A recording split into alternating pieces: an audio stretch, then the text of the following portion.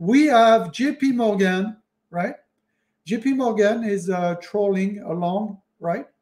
Trolling along with the uh, uh, expansions of their small branches. So I find it interesting that they expand. On the economic front, we have to be careful of the CPI next week, guys. See, uh, so there's a lot of Feds speak today, but most importantly, you have the uh, well, initial claim tomorrow, CPI revision on Friday, but then next week you have everything about inflation. You have core CPI next week on the 13. On the 15, you have US retails. Uh, on the Friday, you have again the core CPI and the housing stuff. So there's a lot of report next week. So be be prepared that maybe we go sideways to up this week, and next week, towards the end of the week, we might have a little bit of more volatility. You see this morning, coming into this morning, the VIX is low. I need to get a zoom prepared here so we can get a pen.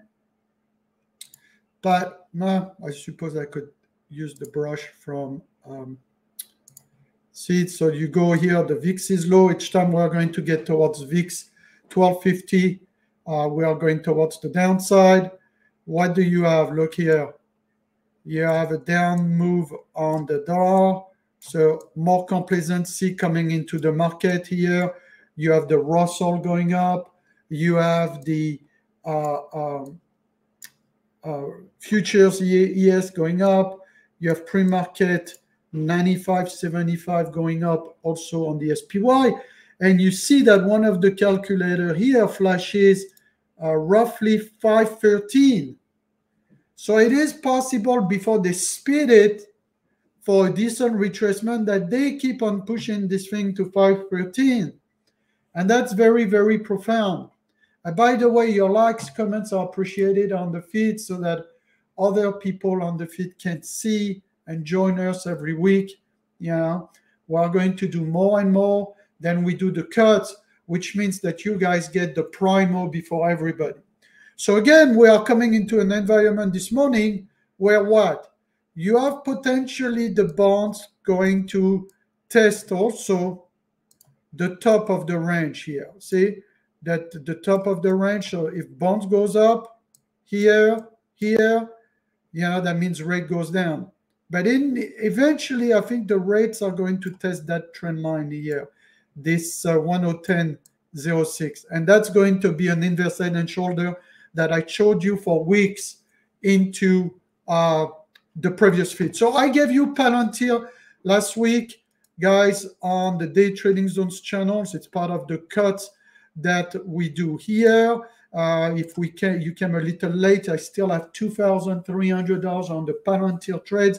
So it's not just telling you about the trades, but it's making money on the trade, and that's very rare because a lot of people they talk about their indicators, their unique indicators, their unique processes, and you see shit. They don't trade. They don't put their money where their mouth is. It's uh, it's kind of sad and pathetic that this happens. You know, uh, if you are going to have indicators, if you are going to talk to the public, you got to come with a certain uh, uh, uh, angle of value. And the value to me in this business is black and white. Can you call the shots before the fact? Do you make money? Do you lose money?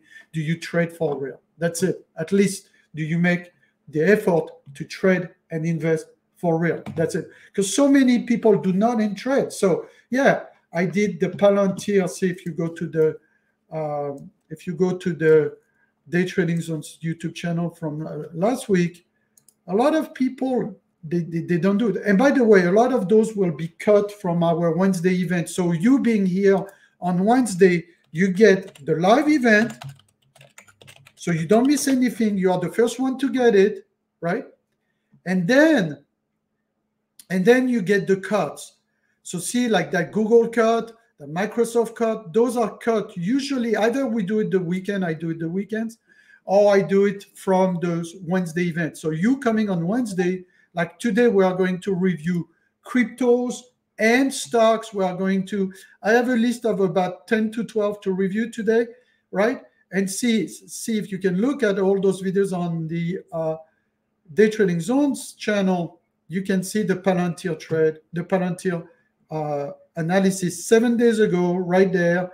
It's here, Palantir, boom, and um, and you would have had that trade because I was telling you that people, it's a time to accumulate more Palantir and more Palantir and more Palantir, and the proof is in the pudding. Is I tell you, and I have the trade right there with two thousand dollars 300 open on Palantir. Okay, which by the way was the biggest gainer of all the stock market yesterday with a 30% after earnings. Palantir is playing into the uh, theme of AI, uh, data mining, data science, government contract. I love that because it's not predicated to the consumer. Consumer is going to go up, and the consumer is going to be tapping out, right?